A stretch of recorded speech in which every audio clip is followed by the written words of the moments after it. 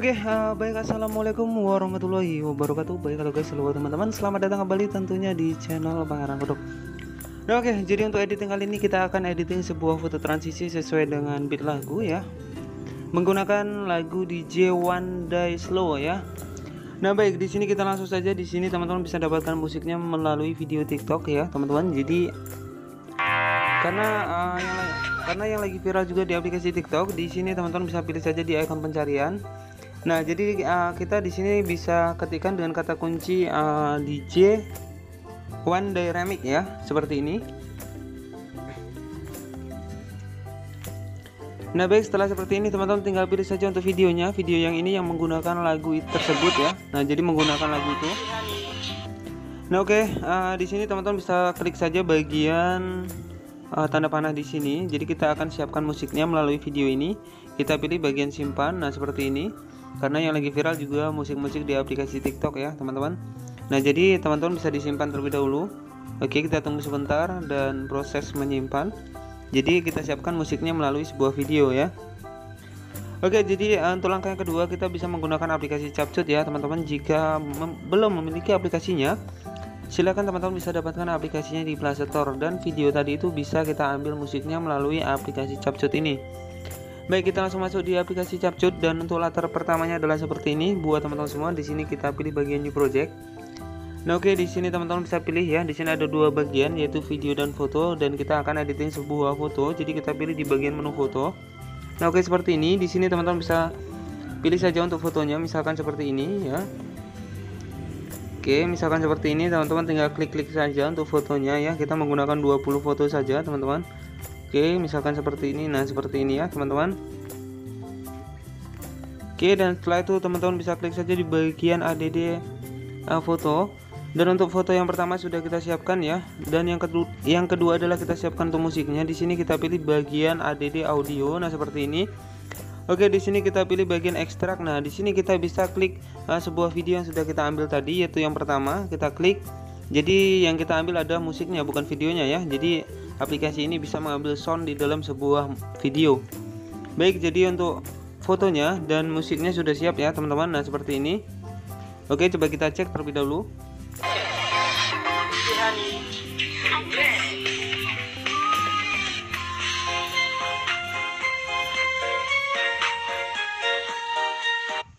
Nah baik jadi untuk menentukan beatnya silahkan teman-teman bisa klik saja bagian musiknya seperti ini. Dan di sini teman-teman bisa pilih saja bagian max out.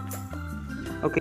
Oke, nah setelah seperti ini teman-teman bisa klik saja bagian di sini untuk putar musiknya dan teman-teman bisa ada di beatnya di sini ya.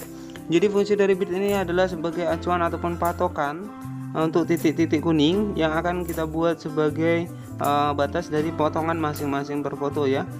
Jadi uh, jeduk-jeduk di aplikasi di aplikasi Capcut ini kita tentukan menggunakan beat yang sudah kita siapkan.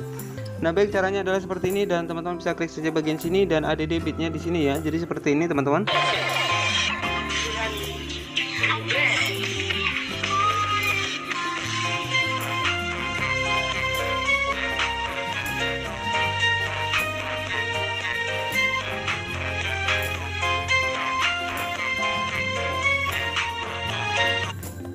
Oke dan pastikan bitnya jangan sampai salah dan sudah yakin ketika sudah yakin kita cek saja bagian centang di bawah ya.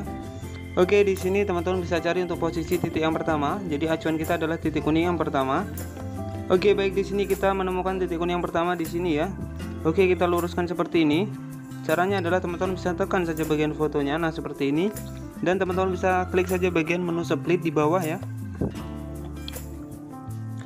Oke dan sisa dari fotonya bisa kita klik dan kita hapus ya teman-teman. Jadi lanjut ke titik yang kedua dengan menggunakan foto yang kedua. Nah baik seperti ini. Ini titik yang kedua ya. Oke caranya teman-teman tinggal klik saja bagian fotonya seperti ini. Oke di sini kita pilih bagian split dan sisa dari fotonya bisa kita hapus. Oke kita lanjut ke titik yang ketiga dengan menggunakan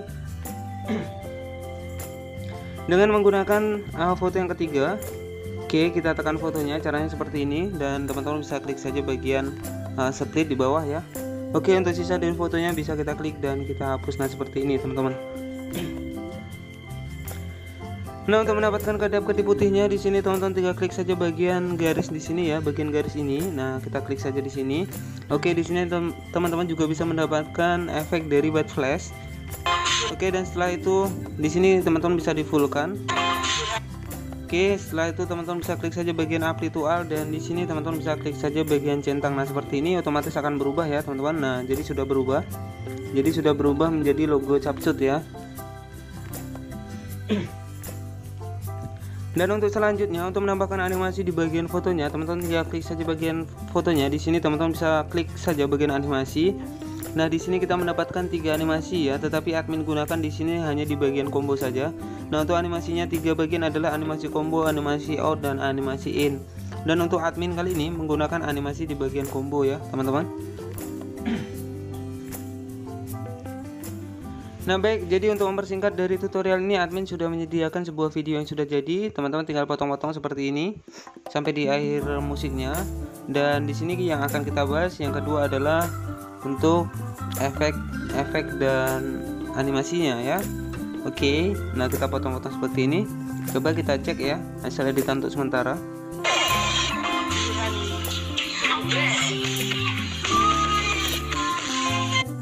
Oke, jadi seperti itu ya. Jadi di sini belum kita potong sampai akhir. Nah, untuk mempersingkat tutorial ini, admin sudah menyediakan sebuah video yang sudah jadi ya. Kita tinggal lihat saja untuk animasinya. Nah, untuk videonya adalah ini.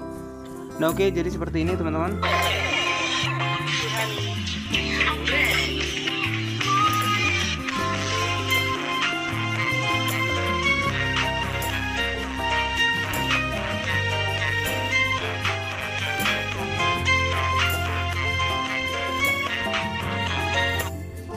Nah oke okay ya, jadi untuk animasi yang pertama digunakan di bagian foto di sini. Kita klik saja bagian animasi dan di sini admin menggunakan animasi di bagian combo ya teman-teman. Karena di sini ada tiga bagian jadi di sini admin menggunakan animasi di bagian combo semua. Kita klik saja untuk animasi foto yang pertama. Oke. Oke untuk animasi foto yang pertama di sini menggunakan preset ya teman-teman menggunakan animasi preset untuk yang kedua di sini menggunakan animasi uh, di story right ya. Oke menggunakan animasi pan left oke untuk yang ketiga di sini menggunakan brush satu yang menggunakan brush satu. Kemudian yang keempat menggunakan zoom satu. Yang kelima tetap zoom satu yang keenam zoom satu ketujuh zoom satu ya. Dan yang kedelapan di sini menggunakan di story rack teman-teman menggunakan di story rack nah di sini menggunakan di story rack sampai di akhir ya teman-teman. Oke sampai di di akhir tetap menggunakan di story rack nah itulah animasi yang digunakan di masing-masing foto dan untuk selanjutnya kita menggunakan bagian efek teman-teman ya. Nah untuk efek bingkai dari warna-warni di sini teman-teman bisa klik saja di bagian ADD untuk efek. Nah teman-teman bisa temukan untuk efeknya yaitu namanya adalah efek LED. Itu berada di bagian uh, frame ya teman-teman. Jadi teman-teman tinggal geser saja ke sebelah kiri. Nah seperti ini. Dan di sini ada menu frame. Kita klik saja bagian di sini. Nah di sini kita akan diberikan ke efek ya jadi efek warna-warni itu di bagian LED teman-teman ya jadi efeknya adalah ini bagian LED nah oke untuk selanjutnya di bagian sini Oke di bagian sini bisa berubah menjadi empat seperti ini. Ini di bagian split ya teman-teman di bagian split. Nah teman-teman tinggal kasih sedikit saja. Di sini terserah teman-teman. Ada tiga, ada empat ya, ada enam. Nih sedikit saja. Nah seperti ini. Oke untuk selanjutnya di sini juga menggunakan efek uh, black flash ini di bagian party ya teman-teman di bagian party. Nah untuk efeknya adalah efek dead flash ya sedikit saja. Dan untuk selanjutnya di sini menggunakan efek uh, di bagian shadow. Ya di bagian shadow di sini menggunakan efek vektor ya teman-teman menggunakan efek vektor nah ini ya menggunakan efek vapor ya seperti ini teman-teman. Nah jadi yang ungu-ungu ini. Oke kita hanya kasih sedikit sedikit saja untuk menghiasi dari ketukan musiknya. Nah seperti ini Oke kita kasih uh, hanya itulah untuk efeknya teman-teman ya. Jadi efeknya itu yang uh, sedikit-sedikit di sini menggunakan efek di bagian split ya. Jadi kita berubah menjadi empat. Yang kedua di sini menggunakan efek di bagian shadow ya di bagian shadow di sini. Oke untuk nama efeknya adalah vapor ya teman-teman vapor. Untuk selanjutnya di sini menggunakan efek di bagian uh, dream ya di bagian party teman-teman ya yaitu black flash. Nah black flash itu hanya sedikit saja untuk menghiasi dari ketukan setiap musik. Nah oke setelah seperti ini setelah teman-teman edit jangan lupa buat watermark di bagian belakang bisa kita klik. Oke dan di sini teman-teman bisa klik saja bagian hapus jadi watermark itu adalah logo dari aplikasi Capcut ya. Sebelum kita simpan harus kita hapus terlebih dahulu. Nah baik di sini ketika sudah selesai kita klik saja bagian tanda panah di pojok sebelah kanan atas. Di sini teman-teman bisa pilih saja bagian ekspor. Nah pastikan di sini ditunggu sampai selesai ya teman-teman. Dan oke jadi buat para pemula di aplikasi Capcut ya ketika mengedit aplikasi di aplikasi Capcut pastikan datanya aktif ya. Jadi uh, apabila datanya tidak aktif otomatis efek serta nih animasi ataupun stiker yang akan kita gunakan itu tidak akan bisa terbuka ya. Jadi pastikan itu datanya aktif. Dan teman-teman bisa ditunggu ya untuk cara simpannya. Setelah itu teman-teman juga bisa share saja ke sosial media yang lain. Seperti Facebook, WhatsApp, Instagram ya sesuai dengan keinginan teman-teman. Nah kita tunggu sebentar ya teman-teman. Jadi di sini prosesnya baru simpan. Dan setelah itu langsung masuk di video galeri kita ya jadi kita tunggu sebentar Oke, jadi prosesnya masih berlanjut, teman-teman. Oke, dan di sini sudah mulai selesai dan kita langsung share juga ke aplikasi TikTok juga bisa. Kita klik down dan otomatis untuk videonya sudah masuk di bagian video kita. Nah, kita cek saja di bagian video. Nah, inilah hasil editan kita.